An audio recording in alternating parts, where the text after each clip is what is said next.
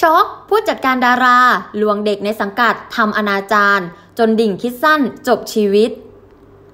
morning นิ่งนิ่งเหล่าทาสที่น่ารักของเดียน มาดามกุ้งกิ้งนางพญาสุดเลิศในใจคุณชายชเวมาแล้วอย่า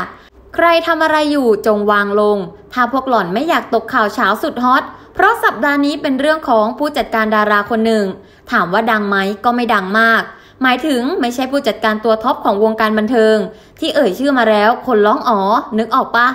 แต่เป็นผู้จัดการดาราที่ส่งเด็กป้อนสังกัดดัง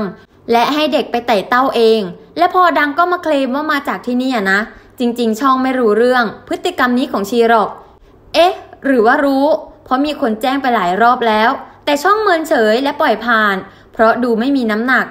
แต่เมื่อเรื่องมาถึงสารไคฟงของเดียนแล้วก็บอกเลยว่าไม่ปล่อยผ่านนะยะ เดียนขอเป็นตัวแทนสังคมจัดหนักพฤติกรรมของผู้จัดการคนนี้ ให้โลกรู้สักหน่อย เอาจริงๆ เรื่องมันจะไม่แดงและบานปลายมากไปเลย ถ้าชีผอจกเขาเก็บหลักฐานหมด และปิดปากเด็กในสังกัดที่ล่วงละเมิดเขาได้อย่างลงตัว เหมือนคนที่แล้วแล้วมา แต่เพราะความลับไม่มีในโลกจริง ๆ มีเด็กอยู่คนหนึ่งที่เป็นนักแสดงประกอบในละครที่กำลังฮิตอยู่ในปัจจุบันของช่องดังเลย เขาถูกผอจกคนนี้ล่วงละเมิดทางเพศ ด้วยการจับโน่น จับนี่ ถ่ายนั่น ถ่ายนี่ พอเด็กตัดใจไปบอกผู้ใหญ่ในช่อง หลักฐานไม่พอก็ปล่อยผ่านไป ล่าสุดแววว่าเด็กหนุ่มเป็นซึมเศร้าเลยนะ คิดฆ่าตัวตายกันเลยทีเดียว